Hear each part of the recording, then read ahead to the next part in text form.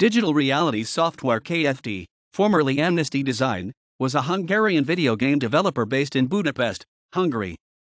It was founded in 1991 as Amnesty Design and started to work on their upcoming title, Reunion, which would be released in 1994 by Grandslam Video for Amiga and MS DOS.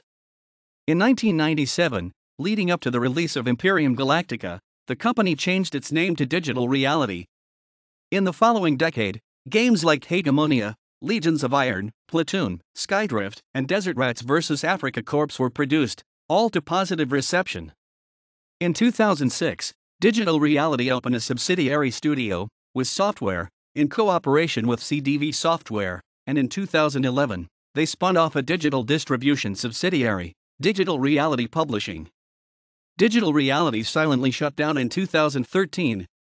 On February 2, 2016, Austrian publisher Nordic Games announced that they had acquired a range of intellectual properties formerly under the Digital Reality banner, with under also Black Knight Sword, Imperium Galactica, and Sine Mora,